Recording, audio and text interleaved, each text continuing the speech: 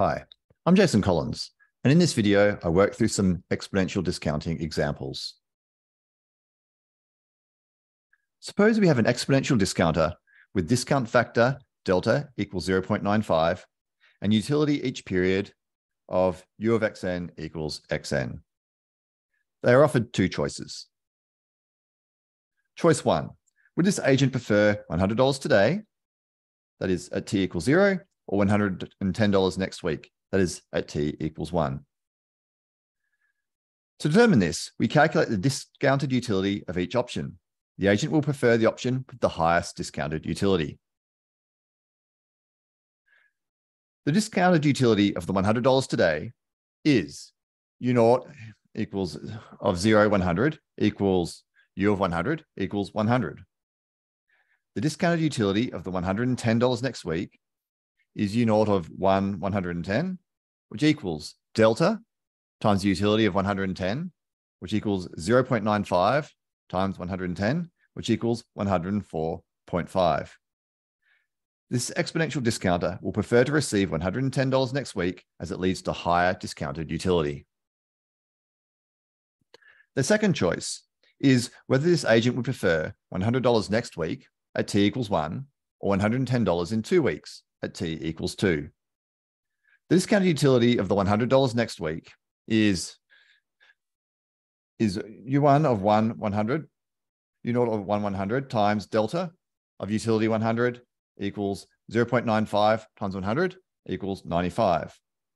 The discounted utility of the $110 in two weeks is U0 of 2 1, 110, which equals delta squared times utility of 110 equals 0.95 squared times 110, which equals 99.275.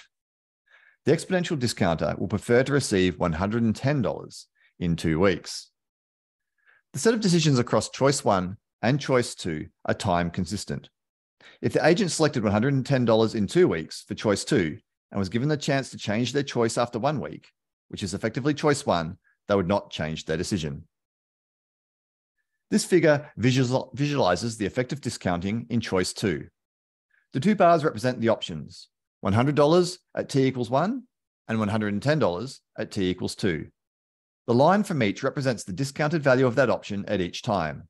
For example, at t equals 1, the discounted utility of the $100 received at t equals 1 is 100, and the discounted utility of the $110 received at t equals 2 is $104.50. We can read those values from the line. For any time t, we can determine which option would be preferred by seeing which line is higher. You will note that the two lines do not cross. For an exponential discounter, if one line is higher at any particular time, t, it is higher at all times. This figure visualizes choice one. The discounted value of the $100 received immediately is less than the discounted utility of the $110 in one week. Now for our second example. Again, we have an exponential discounter with discount factor delta equals 0.95 per week and utility each period of uxn equals xn. They are offered $100 today.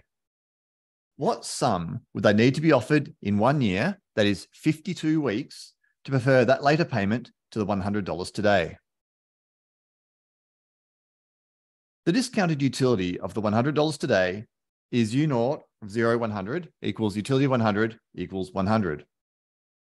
The discounted utility of the sum Y received in 52 weeks is U naught of 52Y equals delta to the power of 52 times U of Y, which equals 0.95 to the power of 52 times Y. So this agent will prefer Y dollars in 52 weeks if the utility of 52 y dollars is greater than 100. Working through that, so where the utility of 50 utility of y dollars in 52 weeks being greater than 100, we can simplify that down. So delta squared, oh, sorry, delta to the power of 52 times utility of y dollars greater than 100, which it, that, that equates 0.95 to the power of 52 times y greater than 100 and then in turn means that y must be greater than 100 divided by 0.95 to the power of 52, or y being greater than $1,440.03. So that is, the agent would be willing to wait a year for payment if they were paid more than $1,440.03. This figure visualizes the problem. The bar at t equals 52 represents the $1,440.03 that the agent would need to be paid to prefer that payment to $100 today. The line extended back from that bar to t equals zero indicates the discounted value of that payment at any time t. At t equals zero, the discounted value of the $1,440.03 is $100.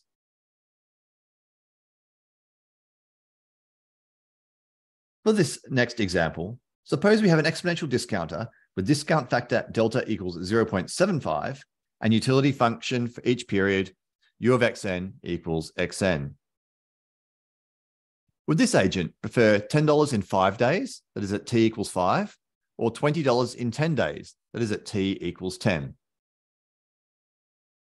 The discounted utility of the $10 in five days is u naught of five at $10 equals delta to the power of 5 times utility of $10 equals 0.75 to the power of 5 times 10, which equals 2.37. The discounted utility of the $20 in 10 days is U naught of 10, uh, 20, which equals delta to the power of 10 times utility of $20, which equals 0.75 to the power of 10 times $20, which equals 1.13. Discounted utility is higher for the, fi- for the $10 in five days. The agent will prefer to receive $10 in five days.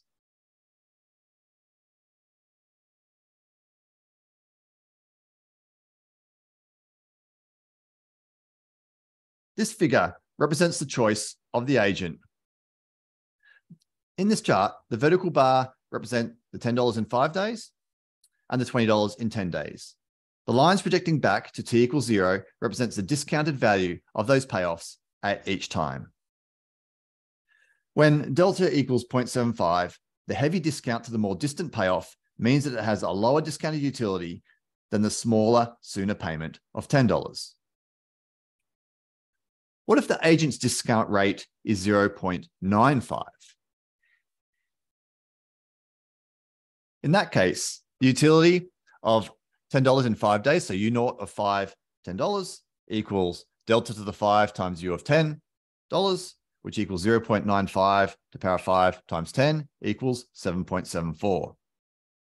The discounted utility of the $20 in 10 days, which is U naught of 10, 10 uh, $20, which equals delta to the 10 times U of $20, which equals 0.95 to the 10 times $20 equals 11.97. Discounted utility is higher for the $20 in 10 days. This agent will prefer to receive $20 in 10 days. This chart visualizes this decision.